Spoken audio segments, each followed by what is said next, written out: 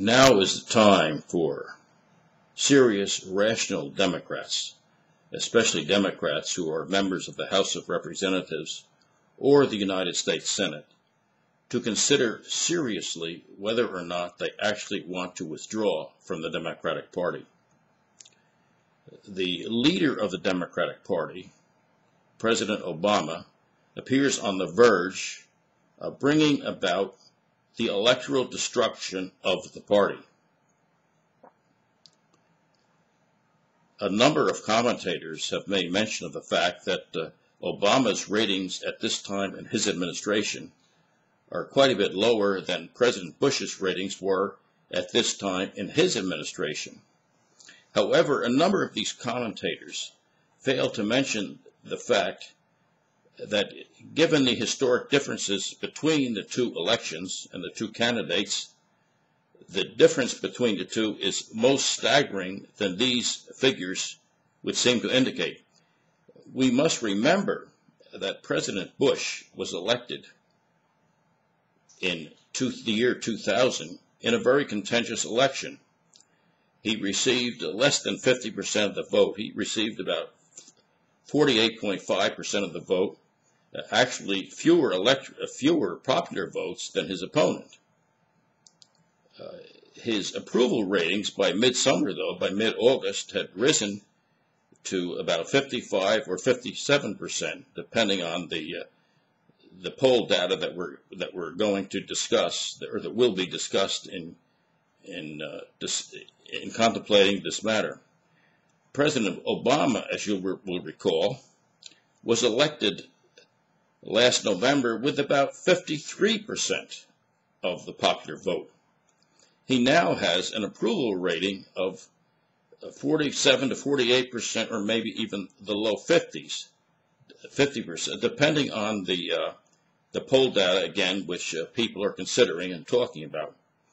So that President Bush, in his in his first year, rose in the, rose within six or seven months from less than 50% to, to way over 50% to the mid 50s. President Obama, on the other hand, has dropped from about 53% to about 47 or 48%, or maybe the low 50s.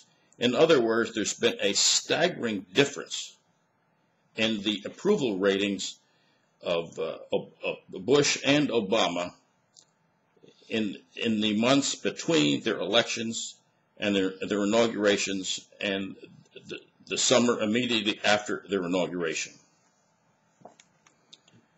Now, there are many reasons for this nosedive on the part of Obama. For one thing, he began angering the 100 million or so gun owners in the United States. He nominated for Attorney General a man who said who wanted to reinitiate the failed Clinton ban on semi-automatic firearms. For another thing, Obama, in, in his first uh, nominee to the Supreme Court, nominated a woman who stated during the public hearings that she did not know whether people have a right to defend themselves or not. She indicated she did not know whether there was a right to self-defense or not. This, this is above and beyond the possibility of whether or not uh, citizens can, can, can use firearms to defend themselves. This is a very basic philosophic question, that is whether or not people have a right to self-defense.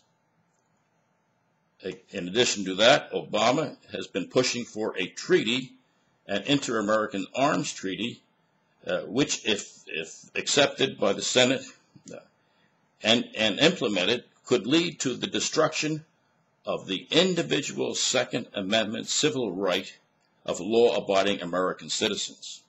So there you have President Obama angering a large segment of the American people.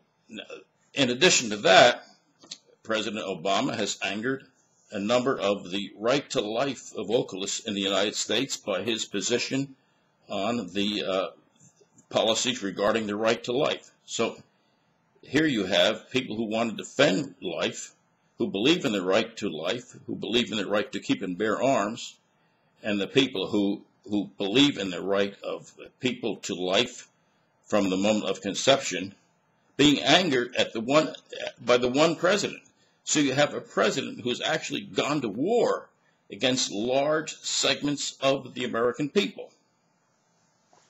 Now, as if that were not enough, we have President Obama pursuing a health reform policy which is angering large segments of the American people across the board. In the month of August, people throughout the United States from all walks of life have been appearing at town hall meetings throughout the, throughout the United States, voicing their anger to the various policy proposals of the Obama administration. So we have a situation now in which a president elected with a popular mandate is at the point of destroying his very mandate or eliminating from all consideration the possibility that his desired policies will be implemented with the support of a large part of the American people. So what does what does a rational Democrat who faces election in 15 months or who, who will come back to Washington in the middle of September and will face uh, election in less than 14 months do in a situation like this? What can he do? Or what can she do? But contemplate that at the head of their party is a man who is destroying or it appears to be on the verge of destroying the party of which they are a member. It may be time for these people, for these rational democratic men and women, to consider seriously whether or not they should withdraw from the Democratic Party.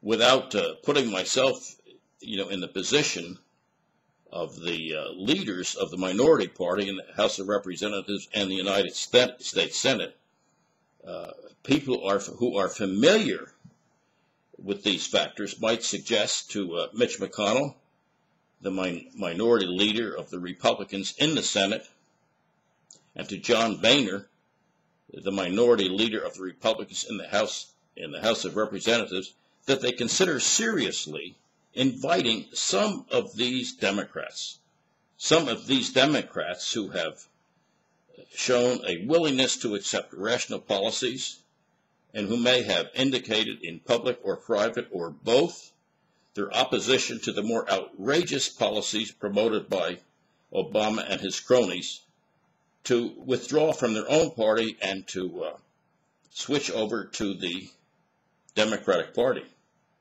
or to switch over from the Democratic Party to the Republican Party.